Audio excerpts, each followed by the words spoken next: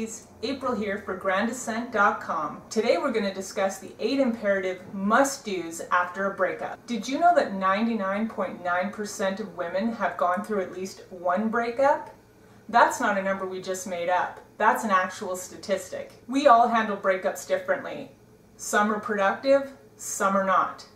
Some help us move on, and others just hold us back. So I've compiled a list of imperative things that you must do and not do after you and your ex decide to call it quits. Number one, don't jump into the deep end, at least not the deep end of the dating pool. At least not just yet. You might be feeling lonely right now, but try to fill that void with family and friends rather than rebounding with some guy you just met in the club. Try to stay away from dating, at least for a little while, until you feel better about the situation and yourself. You need to make sure that you're happy with yourself before you move on into another relationship. Otherwise, you might end up with someone who doesn't deserve you. Sadly, acting out of desperation and loneliness can do exactly that to you. Number two, good mood food. If you find yourself alone, and your friends and family might be busy at the moment, or maybe you just want to be by yourself right now, why not try some healthy foods that make you feel happy? Try some chocolate, in moderation of course, or some walnuts, or anything that has a high B vitamin content, like leafy greens. These are known to be proven mood enhancers. My favorite thing to do when I need to center myself or get away from it all is to cuddle up with a good book and a nice cup of tea. High in vitamin B. Number three, other creature comforts. There are many short-term treatments to sadness and loneliness. Things that you can do if you find yourself feeling alone or just plain down in the dumps. Most examples involve things that will calm you. Remember, try not to wallow in your feelings of sadness and loneliness while you do these things. Take a long bath. Go for a walk. Write in your journal. Do some yoga. Meditate. Listen to music.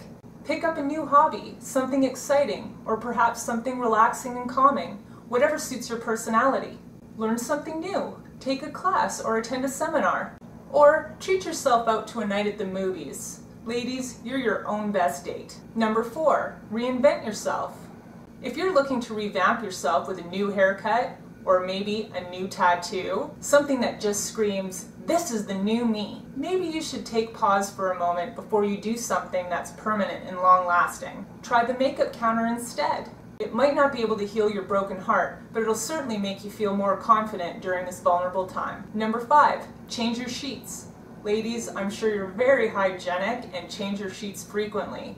But if you've lived together, those sheets could hold some bad juju. They have memories, and good ones, attached to them. Sheets don't have to be expensive, so if you're looking to buy something new, to start anew, that may be the way to go. Number six, do let him go. And what I mean by let him go is don't Facebook stalk him or stalk him for real it's not going to help you with your heartache and it's not going to help you move on. It's just not healthy.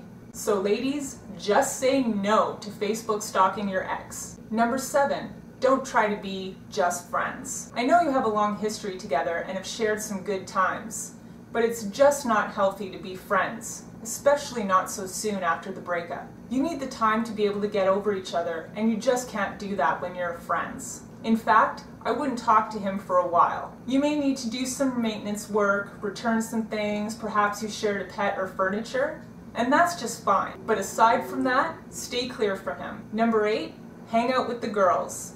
This is an important one. Your friends know who you are. They know how you cope. They know if you're going to do something stupid, and they've probably been there themselves. They know you and they know how to help. You can vent to them, you can paint the town red with them, they can help you get your mind off things for a while. So be sad, have some bonding time with the girls, but whatever you do, don't pretend that things are okay when they're not. Allow yourself to grieve in whatever way you need to. Cry, exercise, write in your journals, whatever way you have, your friends will be there to help you and support you along the journey. And that's our tip of the day for you. For more success secrets for women, Make sure you visit us at grandascent.com and join our community. Ladies, there's no other community like it in the world.